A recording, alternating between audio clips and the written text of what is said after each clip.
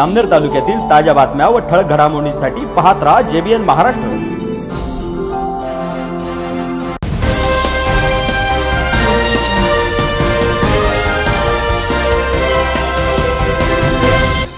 नमस्कार मी वर्षा जाधव. पाहूया काही ठळक वृत्त. जैन इरिगेशन सिस्टीमचे अध्यक्ष स्वर्गीय भवरलालजी जैन यांच्या पत्नी स्वर्गीय कांताबाई जैन यांच्या स्मृती प्रित्यर्थ वाकोद येथे राज्यस्तरीय वक्तृत्व स्पर्धेचे आयोजन करण्यात आले होते. राणीदानजी जैन विद्यालय वाकोद या ठिकाणी ही वक्तृत्व स्पर्धा तीन गटांमध्ये मोठ्या उत्साहामध्ये पार पडली. या वक्तृत्व स्पर्धेमध्ये जिल्हाभरातील विद्यार्थ्यांनी सहभाग घेतला होता. स्पर्धेतील विजेत्या स्पर्धक विद्यार्थ्यांना या प्रसंगी मान्यवरांच्या हस्ते बक्षीस आणि प्रमाणपत्र देऊन गौरविण्यात आले. या प्रसंगी जैन उद्योग समूहाचे अधिकारी कर्मचारी आणि राणीदानजी विद्यालयाचे मुख्याध्यापक शिक्षक शिक्षकेतर कर्मचारी उपस्थित होते. ही स्पर्धा सुरुवात झाली. असे माजी प्राचार्य आदरणीय K T Chaudhari sir Gaurai कृषी विद्यालयाचे प्राचार्य आदरणीय डी आर चौधरी सर व सर्व सन्माननीय अतिथी मान्यवर. या ठिकाणी आराध्य दैवतांच्या प्रतिमाचं आपल्या या कार्यक्रमाचा एक भाग या ठिकाणी आहे की जे ज्यांचे पहिला क्रमांक ज्यांचा आलेला असेल त्या स्पर्धकांचं मनोबत या ठिकाणी ठेवणार आहोत.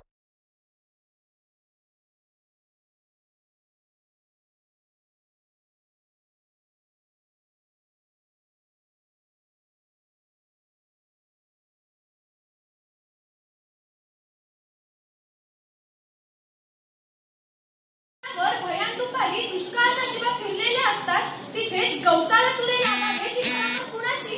आईचा तेल लावणारा हातही पारखा झालेला एखाद्या अनाथ लेकराचे केस वाऱ्यावर भुरू भुरू उडताना दिसावे.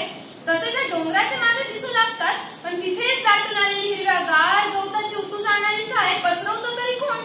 पण वाऱ्यावर डपासारखी थरथरणारी हिरवीगार सळसळ कोणाचं बोट धरून पण वाऱ्यावर डपासारखी थरथरणारी हिरवीगार सळसळ कोणाचं बोट गणगोत तुटल्यासारखं दूरवर गेलेला उदास पाऊल वाटांना फुलांनी सजवतो तरी कोण? निष्पाप झाडानं आपले हडकुळे हात पसरावेत आभाळाच्या दिशेनं बेदम आघात झालेल्या एखाद्या शरणागतासारखे. आणि त्याच झाडावरचा पाखरांचा किलबिलाट हा चमत्कार तरी कोणाचा जिथे गरम उसाचे टाकून भेगाळलेल्या भुईलाच जावे खोलवर तडे इथे उरलेलं काळी सांगत तरी कोण? भगभगीतूनच सैरबैर झालेली माणसं कशाच्या आधाराने धडपडून सावरतात? हे सारं वास्तवात उभं करण्याचा वंकूप धारण करणारा पाऊस म्हणजे जणू आभाळाचाच हात. तो झरतो म्हणजे आभाळातून थेंबा थेंबाने पाणी झरते एवढंच थोडं आहे या पाण्याच्या आधाराने जगण्याला सजवतो आपण आणि पापण्यांना बांधतो स्वप्नांचे तोरण. अवकाशातून इतर ग्रहांच्या तुलनेत पृथ्वी म्हणतात. तिला हे रूप लाभलंय ते तिच्या पृष्ठभागावर असलेल्या पाण्यानेच. या पाण्याने जिथं जीवसृष्टी साकारली आणि पुढे साडेचार अब्ज वर्ष उत्क्रांती सुरू राहिली आणि त्यातून निर्माण झालेल्या जैवविविधतेने पृथ्वी सजली.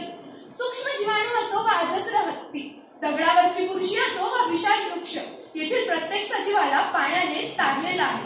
आपण मानवी शरीर पंच्याहत्तर टक्के पाण्याने बनलेलो आहोत. एक अर्थी पाण्याची पिशवीच की हो आपण? शरीरभर जीवनसत्वांचा पोषक तत्वांचा पुरवठा रक्तवाहिन्यांवाटे करण्यासाठी रक्तप्रवाह सुरेख ठेवण्याचं कार्य हे पाणीच करत असतं. मित्र हो कुणालाच आवडत नाही.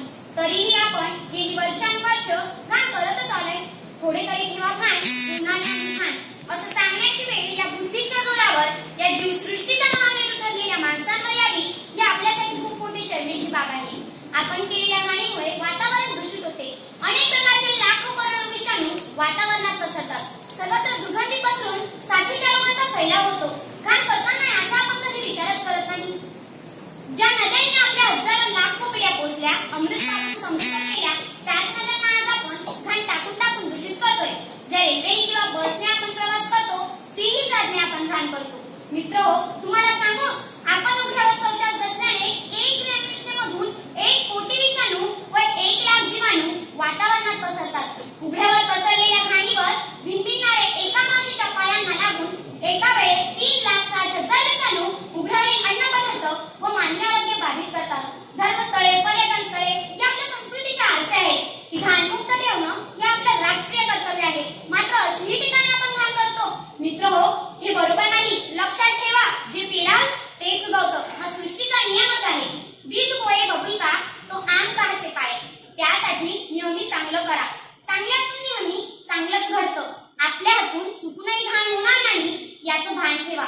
घाण केवळ वृष्टीने किंवा आचाराने व सुद्धा. एका घाणीच्या अप्पेने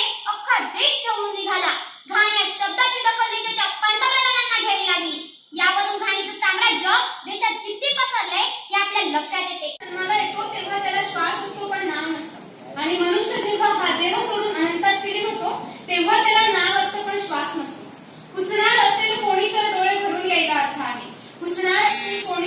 तर डोळा भरून यायला अर्थ आहे? नाही तर जीवन सुद्धा व्यर्थ आहे.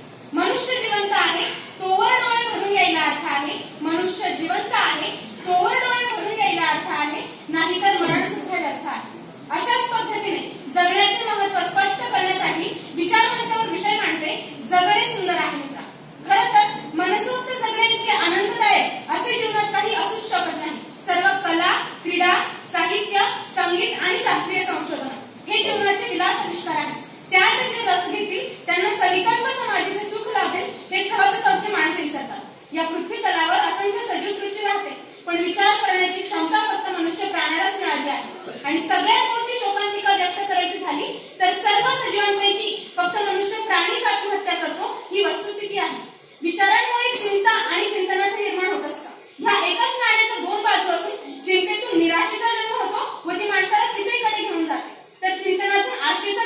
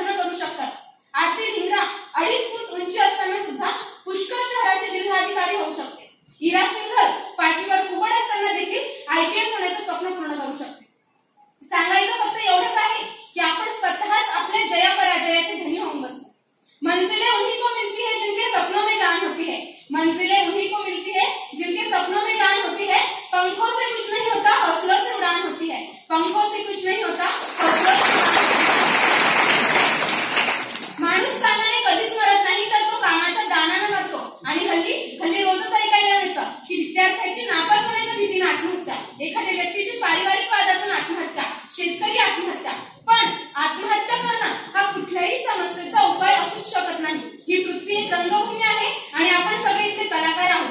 त्यामुळे ज्याच्यात क्षमता असते त्यालाच कठीणात कठीण भूमिका स्वीकारावी लागते. अब्राहम लिंकन दुःखातून पिळून पिळून निघत असताना सुद्धा अमेरिकेचे राष्ट्राध्यक्ष होऊ शकले. अल्बर्ट आईन्स्टाईन वयाच्या चौदा वर्षापर्यंत बोलता येत असताना सुद्धा जगातील महान शास्त्रज्ञ होऊन गेले. चार्ली चापलिन संपूर्ण आयुष्य नैराश्याने ग्रस्त असताना सुद्धा विनोदाचा बादशाह होऊ शकले. या सगळ्या महान व्यक्ती स्वतः अनेक संकटांचा सामना करत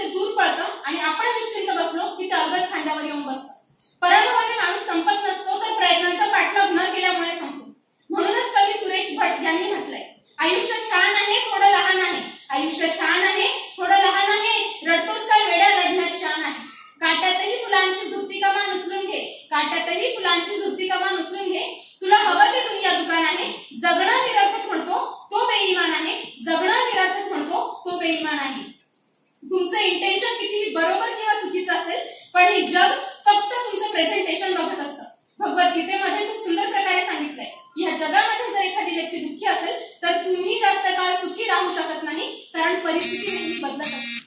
असं म्हणतात की तुमच्यामुळे जर एखाद्या व्यक्तीच्या चेहऱ्यावर स्माईल येत असेल तर तीच खरी आध्यात्मिकता आहे आणि तुम्ही जगातील श्रीमंत व्यक्ती आहात. शेवटी जाता जाता विकास क्रांतीकरांच्या वेळी व्यक्त कराव्याशा वाटतात. असे जगावे दुनियेमध्ये आव्हानाचे लावणी अंतर असे जगावे दुनियेमध्ये आव्हानाचे लावणी अंतर नजर रोखुली नजरेमध्ये आयुष्याला द्यावे उत्तर. नको तुला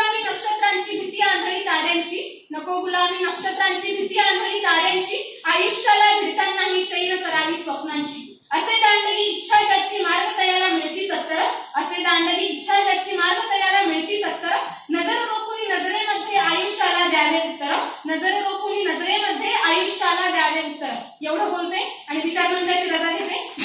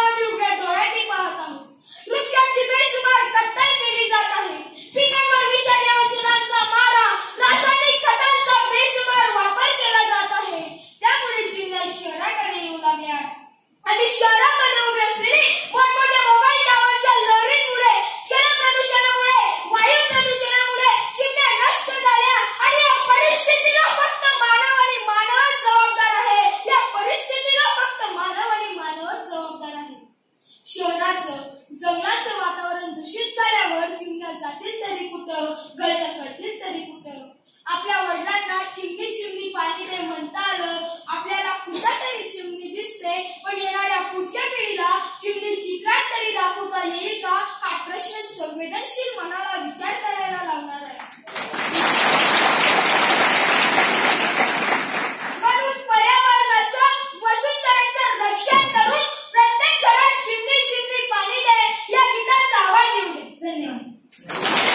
पुन्हा भेटू. तोपर्यंत पाहत रहा जेबीएन महाराष्ट्र न्यूज नमस्कार.